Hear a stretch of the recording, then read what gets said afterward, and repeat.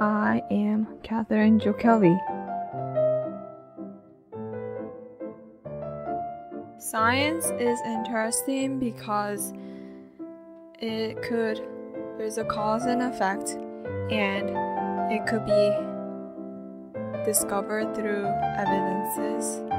And there's a lot of unknown that still goes on that I believe people are still trying to figure out.